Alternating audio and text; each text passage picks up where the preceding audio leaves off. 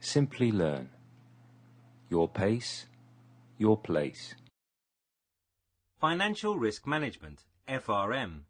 Part 1 of the FRM exam covers the fundamental tools and techniques used in risk management and the theories that underlie their use. GARP Code of Conduct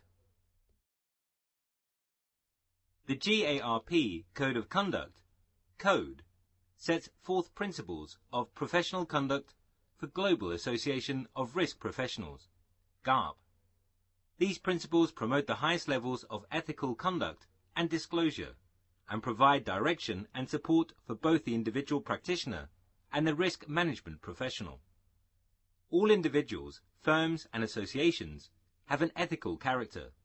Some of the biggest risks faced by firms today do not involve legal or compliance violations, but rest on decisions involving ethical considerations and the application of appropriate standards of conduct to business decision making. There is no single prescriptive ethical standard that can be globally applied. GARP members are expected to continuously consider ethical issues and adjust their conduct accordingly as they engage in their daily activities. Agenda The GARP Code of Conduct will be discussed in two parts. First is the Code of Conduct that lists various principles and professional standards to be followed by a GARP member. The second part deals with the rules of the conduct and will be subdivided into five headings.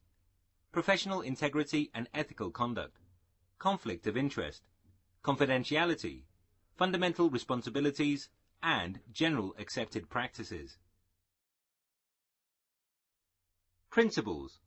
The first principle states that the GARP members must act with honesty and integrity while carrying out their responsibilities and must maintain the reputation of the risk management profession. Honesty and truthfulness must be over and above anything. The second principle relates to the conflicts of interest. This means that GARP professionals must act independently and promote interest of relevant constituencies and must not engage in any activity that has potential conflicts of interest and must fully disclose such potential conflicts to all affected parties.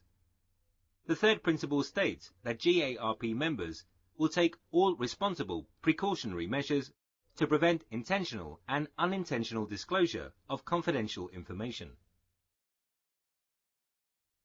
Professional Standards GARP members must adhere to a few basic fundamental responsibilities.